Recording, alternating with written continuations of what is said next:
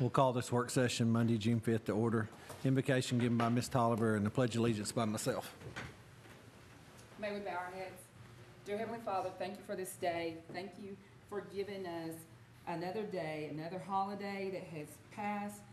Thank you for the many blessings that you have in store for our city. Father, please continue to go with our first responders and everyone that make up this great community. I ask this in your name. Amen. Amen. Pledge allegiance to the flag of the United States of America and to the republic for which it stands, one nation, under God, indivisible, with liberty and justice for all.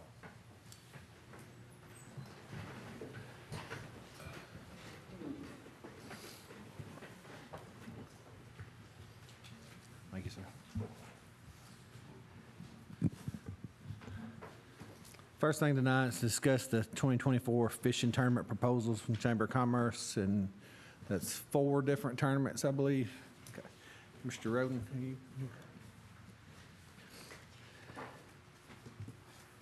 Thank you, Mr. President, council, mayor. Uh, Cannot believe we're talking about 2024 already, but they are, they're, boy, they're calling us like crazy, getting ready, trying to get on the, on the calendar for next year. Um, You should have them, I think, all in your packet. Uh, Whitney, you- you uh, you put, we'll start with uh, the Angler's Choice. Angler's Choice Tournament wants to come back. They have not been here in probably three or four years. This is probably one of the better tournaments, uh, one of the best tournaments, because every single one of these fishermen come from the Midwest. They come from Indiana, Illinois, uh, Nebraska, just all in the Midwest. So there's nobody even close. Nobody lives here close at all. Uh, It's a, it's a great tournament. They want to come here uh, and have the tournament actually on a Thursday and Friday, which is another good thing, rather than it being on the weekend. They want to come March the 7th and the 8th, two uh, 2024. Um, Estimating about 300 boats. Uh, So we're talking about 600 anglers. So it's, it's a big, big tournament initially requested forty-five dollars per boat. I've negotiated that down to forty dollars already. Uh, Then we have to provide uh, six dou- double occupancy rooms for them, uh, also for their, their- their directors. So that is the Angler's Choice Tournament, March seventh and eighth, twenty twenty-four. Any questions after looking at your pack, through your packets on that particular? Which tournament? one, which one is this, Rick? There's four This here and one. I'm getting mixed up. This one. Okay, Mm-hmm. okay. And you said 40 per boat. How many boats again? Three hundred boats. Okay. And again, these, these, none of these people live anywhere close to Alabama. Have we had this one before? Yes, we've had it several times before. One of our favorites. Uh, They, because they, they've run a fantastic tournament, have been doing it for many, many years. Uh, Rick Burns is the tournament director. Uh, It's just been three or four years since they've been here, but this is the kind, this is one of the better tournaments, for sure. They're, they're, they're a very, very good Plus tournament. Rick, you said you had negotiated it down to forty. Is there a maximum? I know one of the tournaments has a per boat charge, but there's a maximum. Does this one have This a one does not have a maximum. It's just straight forty dollars per boat. Because, I mean, 300 boats, that's 12 grand. Yeah. And so, I can, hey, plus I- rooms. I can certainly negotiate. Okay. I'll be glad to negotiate up to a maximum. Might want to do a maximum ten thousand or eight thousand, whatever. That's whatever y'all want me to do. Okay.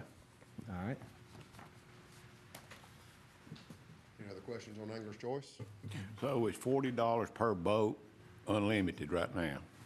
Yes, that's what they're asking. So in times gone by, how many boats did we have? You, they're usually pretty consistent around three hundred boats. You can, So we're looking at twelve thousand dollars. thousand dollars. Plus six rooms. Plus rooms, yes. Uh, total, that would be twenty-four room nights. So, But it's four nights, Okay. six rooms for four nights.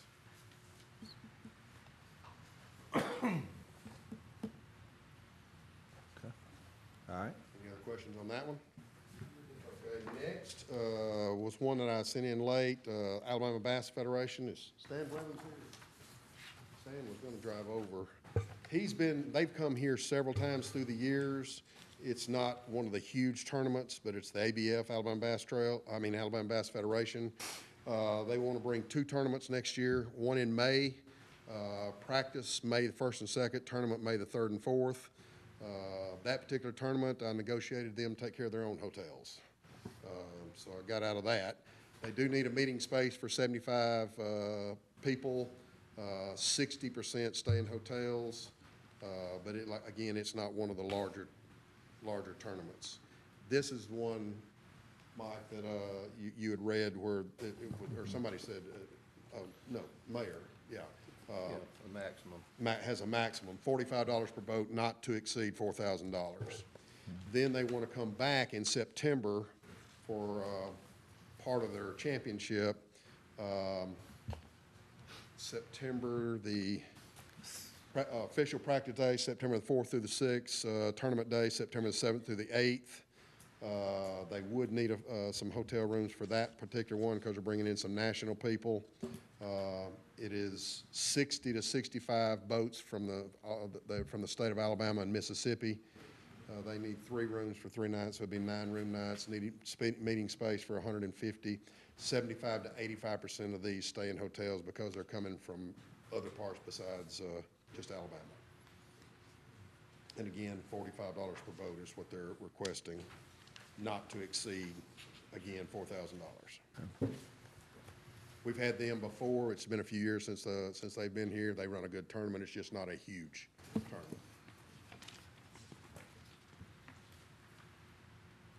And then the last one, uh, y'all are very familiar with because we've had them for two years in a row, the um, Ma- uh, Major League Fishing Toyota Series. Uh, They want to come back. They've been here twice and they've absolutely loved it. Uh, It's a huge tournament. Major League Fishing is a huge trail. They want to come late February or early March. Um, Point out a couple of things uh, about this one. Uh, They have, um, uh, they, they run their, their uh, statistics on 300 anglers, 150 boats. The last two years, this year in February, uh, they were here, February the 23rd, they had 265 boats. And then last year, 2022, they had 325 boats. But they run their uh, statistics off of prediction of 150 boats. So they've exceeded that quite a bit. Uh, So it'd be, uh, if they do it at 150 boats, 150 co-anglers, that's 300 anglers. Competition days are are Thursday through Saturday. So it's three days. The full field, all of them fish Thursday and Friday. Uh, So that's, in, in, in years past, between 500 and 600 fishermen for the first two days, except, well, I take it back. This year, we had bad weather, so they let them all fish Saturday too. But what they usually do, they uh, have all the anglers Thursday and Friday, and then they cut to 50 anglers on Saturday for the championship.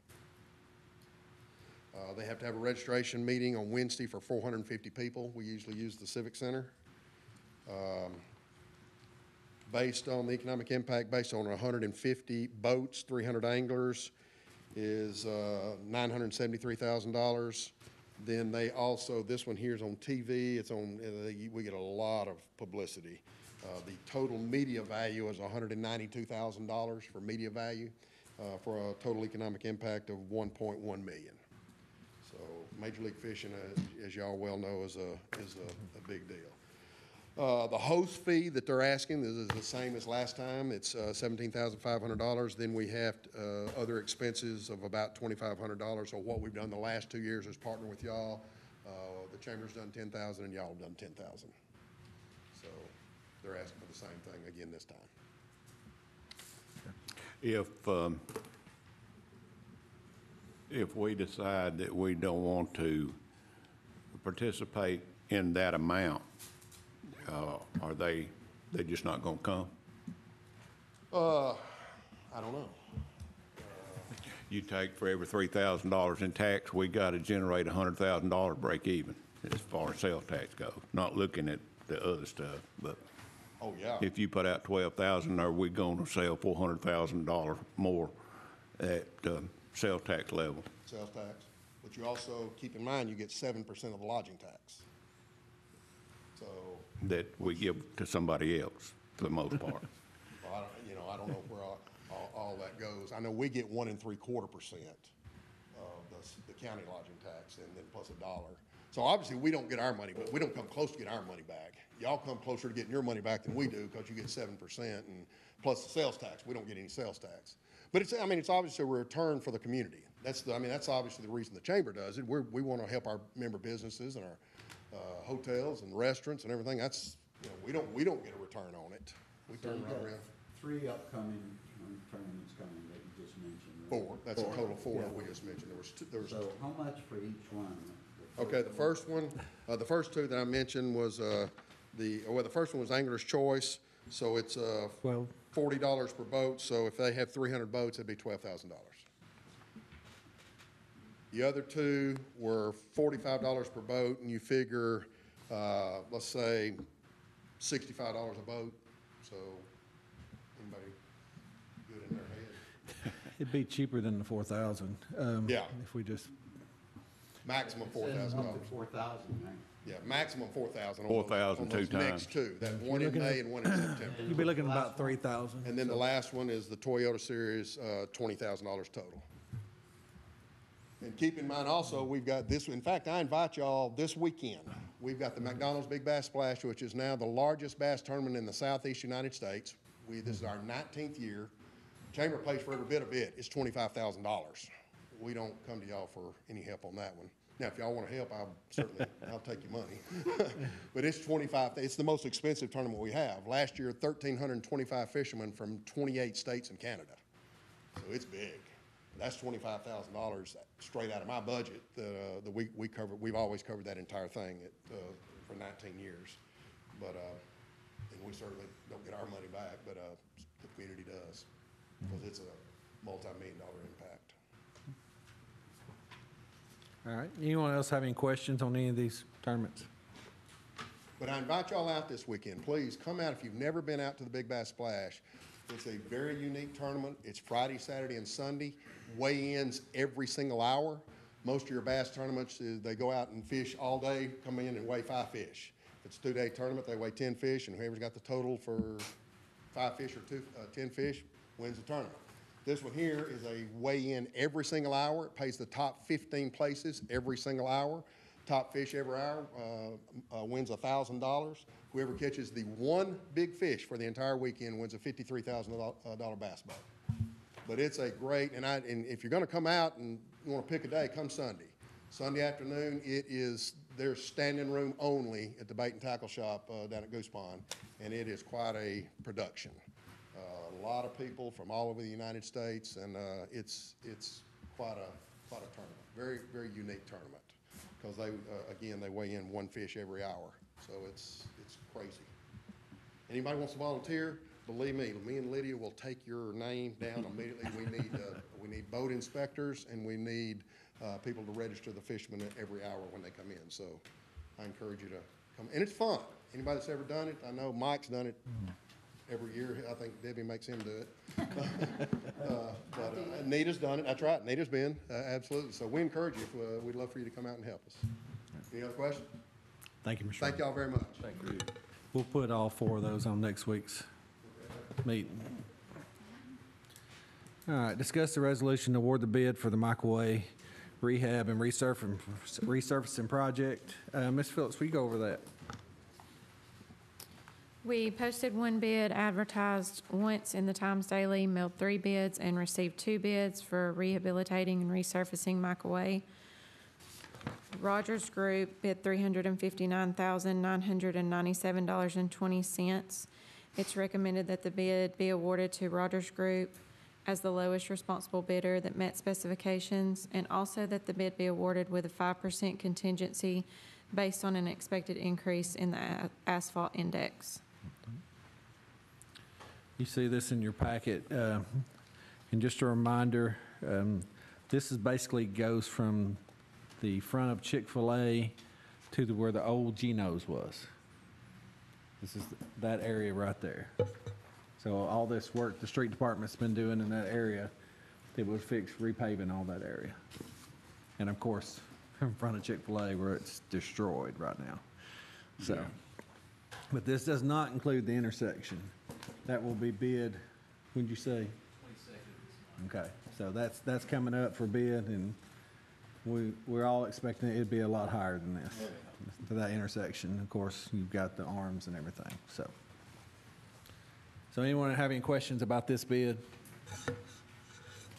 No questions. We'll put that on next week's meeting then. Uh, number three, discuss the tractor leases for the solid waste and landfill departments. Mr. Ledwell.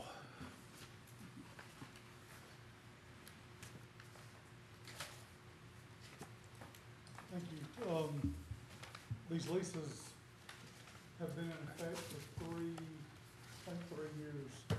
Um, they have expired, and we've got a couple options that we can do on them. Um, I made you all a copy. Um, these, these new leases are for just two tractors. We have three. One of ours is very low hours, and the amount of money we owe for it, um, I would recommend that we just pay that one off and, and keep it, because we owe eighty-eight hundred and seventy-five dollars on the one at the Scottsboro office landfill. There's two at the big landfill in Hollywood. Uh, but the one at Scottsboro just don't have a lot of hours on it, and there's no need of, of trading that thing in or anything else. We just need to keep it for a while. The ones at Hollywood have more hours, and they're not terrible. So I'm gonna, I'm gonna put you two options in front of you. We can do the leases as you see and take the amount of equity that's offered us for those two tractors and have a low payment on that new lease, which is six forty-one if you'll flip it a month. Or I think we'll be okay if we wanna just choose to pay these three machines off. Um, we owe eighty-eight seventy-five apiece for two of them and twelve two fifty for one of them.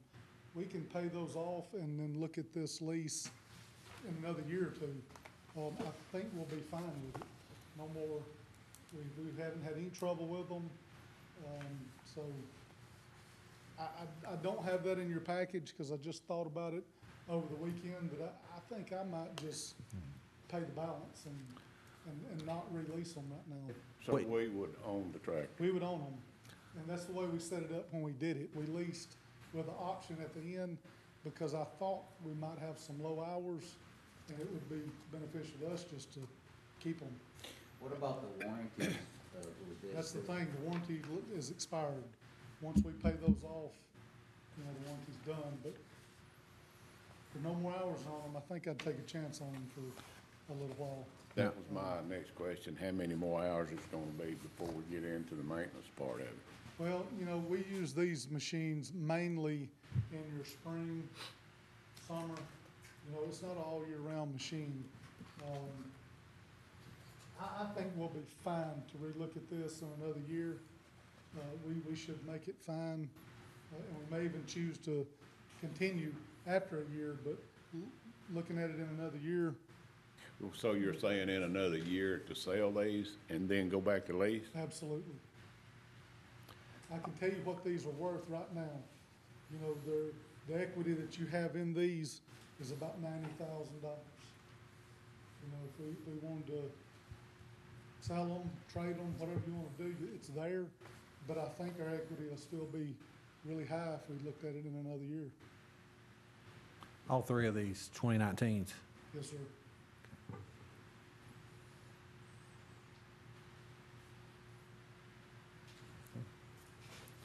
It's not a bad idea to swap them out, like Mr. Dahl was alluding to as far as warranty, but us using these just a seasonal use, I think we're okay to, to not get in another three-year lease, you know, for at least another year. They're under five years old. We, we can relook at next year and, and make a decision, because we can get some good money after using them. more. Mostly what are they used for, mowing? They're used for bush hogging, yes, sir. Anyone else have any questions on the tractors? You'll get that to us all, and then uh, we'll put it on next week's meeting to make a decision on it. Thank you. Number four, discuss short-term rentals. Uh, Mr. Kinnemer. Uh, Thank you, Mr. President. For the last several years, we have seen an increase rate of use of short-term rental units uh, amongst city bureaucrats, attorneys, fin- finance directors and such, uh, this is an area that is uh, not addressed. The city at the current time does not allow it legally, though we know it happens. It happens with every Airbnb rental, every short-term rental that is happening in the city and its police jurisdiction. What this proposed ordinance will do is provide a framework for y'all to review and decide how you want to approach the issue. Uh, The ordinance starts off with basically rules and regulations, things to do with health, safety, and fire. Right now, there is no requirement that an Airbnb that is done in Scottsboro, Alabama, have a a fire alarm. There is no requirement that there be signs posted or information provided how to get out of a fire situation. Uh, You have all of these things that are done in hotel rooms that are not done in those kinds of situations. What this would do is change that. Uh, You would be required to have insurance, you would be required to fulfill the life safety code, uh, basically like any other commercial rental thing. That's not to keep you from renting it, but it would put the hotels, boarding houses, uh, and Airbnb kinds of things on the same pathway. And that's what this ordinance does. Uh, The key thing to it, and uh, someone asked me, well, would it affect RVs? No, it would not affect RVs. Uh, This has to do with dwellings and dwelling units, and they're defined in the ordinance. It would require someone who wanted to uh, do this kind of thing to first apply for a permit. Um, I don't know what fee you would want to charge. It's going to cost a little bit of money to do it. There's a blank in the proposed ordinance for that. Uh, Then who you're going to have do it. I thought that the building department would, might be the best place to start. Uh, Then a permit, which would be in line with the business license uh, ordinance of the city to do this kind of thing. Have a provision that it would uh, be allowed all over the city if you wanted. You could put restrictions on it. But it could not be allowed in places where the subdivision restrictions, private subdivision restrictions, do not allow it. Uh, The, require smoke detectors, things of that nature. Uh, Not quite background checks, but information provided. Provide for penalties, uh, provide for parking, provide for uh, limited occupancy. You couldn't have 14 people staying in one hotel room or one uh, room in uh, that kind of situation. It would then uh, have a situation where you could, uh, what you want the lodging tax to be. Uh, I left those blanks. The, logically, it would seem to me that the same thing you charge a hotel is what you'd want to charge the Airbnb or whoever like that. Be it allowed onto and charged with uh, by the owner, who would pay on a monthly basis. This is for y'all to review. Uh, There, it's several ordinances around the state that this is based upon right now. Uh, A lot of this came out of Huntsville's, but it- some of it came out of other places. Uh, I would hazard a guess that most of the larger cities and medium-sized cities, if they have not done this yet, are about to. I feel like we're kind of late to the game on this whole situation. And so we, uh, we, we need to address this. Um, I've also asked Mr. Kinnemer about doing a public input to give the public a chance to speak on this, whoever would like to. So uh, I'm going to schedule that for the next work session, which will be next Monday. So anyone have any questions or comments about the short-term rentals? Will we have to come up with a, if, if they don't follow the guidelines, uh, a penalty? a fine? Yes, sir, it is established in the ordinance. Okay. So, I- so when they apply for a permit, then the building department will go out and inspect, is that? That would, that is a possibility. At least they would receive it and have the right to go out and inspect. It does not require them, I don't think, to inspect. But you have to swear under oath that certain things are there. And another question I have is, so, you know, there probably are some already here, Yes. and if the neighbors are probably gonna be the ones that will help us check on them, but if so- somebody calls in and says, somebody's renting out a Airbnb next to my house, who will go out and check on it? Would it be, I would assume the city's enforcement officer. Uh, that's just a question, how, how we will check on it? It's a very good question. Mm-hmm. And it, it can be addressed by us or the mayor also, you know. Because we, you can also be looking at having a business license, you know, Oh, Okay. You'll be required to have a business license. so. absolutely. Anyone else have any questions on this? No questions. Like I say, we'll move this to next week for the work session and give the public a chance to put input on this before we move any further on. Okay. Well, that will conclude this work session. Um, So there's no delegations tonight. Uh, We'll go to reports. Mayor?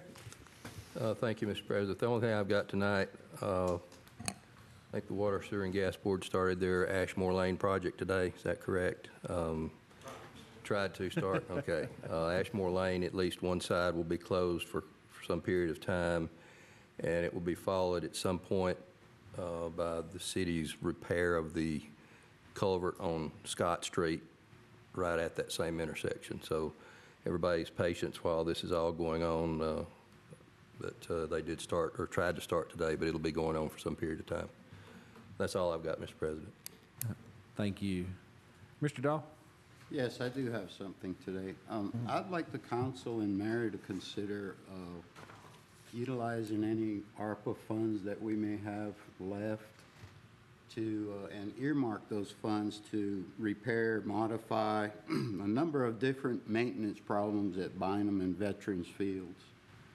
Uh, buildings, gates, fencing, bathrooms, sunshades, or, nets water fountains don't work, snack bar, painting, stuff like that. So it's a lot of cosmetic stuff. And personally, I believe that these maintenance issues have been uh, needed for a long time, and it compounded during COVID, where uh, the maintenance issues were let go even more. Therefore, I believe this project fits the ARPA program due to the magnitude of neglect of the field and buildings at Veterans and Bynum Fields.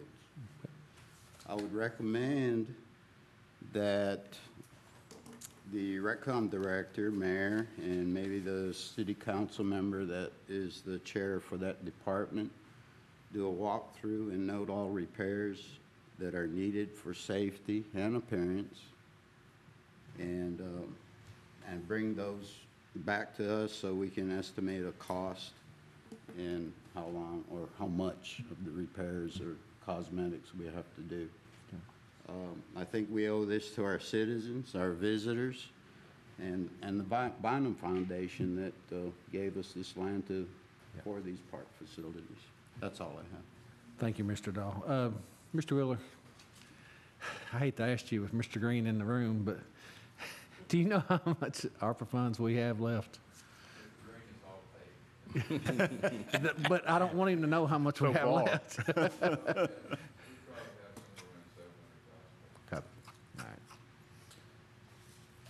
Thank you.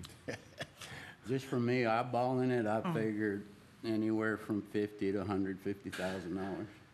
Now, that's That's, just that's without cosmetics. tackling, yeah, that's not, not tackling fields, though. No, no. And so, yes, okay. All right, thank you. Ms. Tolliver? I don't have anything tonight. Thank y'all for coming. Thank you. Mr. Ashford? Mayor, uh, whenever you can fit it in your schedule, the paving committee would like to meet. Yeah, I was think, we were talking about that today. Okay, We'll get that set up for next week at the, ear- at the latest. Okay, thank you. That's all I have. No, Thank you. Ms. Frederick? Uh, yes, the summer reading program starts this week at the Scottsboro Library. If Jerry could add a little bit to that, and Started today. Uh, Last year, we had about five hundred and sixty-five kids come through. We're hoping to break Wow. seven hundred this year. We need your help to do it. They can come by the library to sign up. Uh, We have different activities for them throughout the summer. We have things to help encourage their literacy skills, help stop the summer slide, and show them that kids who participate in the summer reading program do much better next year in literacy especially elementary kids. So send them by the library and we'll get started. Thank you. Thank you. Anything else? Okay, thank you. Uh, Just to remind everyone, uh, next week, we will have a meeting and a work session a- followed by. Because June 19th, the next week after that, there'll be no meeting. That's a holiday. June 26th, um, we'll do a meeting and work session on 12th, and so we'll have a meeting on the 26th. Then July 3rd, there'll be no meeting. That'll be a holiday. And so July 10th, we'll do a work session and meeting. So we've got a couple double ups, so everyone be prepared for that. I have nothing else. I appreciate everyone coming. We're adjourned.